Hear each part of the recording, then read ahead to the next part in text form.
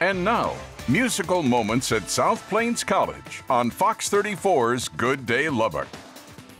Welcome back, 947, and next up is the Pickin' on the Plains Ensemble from South Plains College. Here's their version of a Doobie Brothers classic.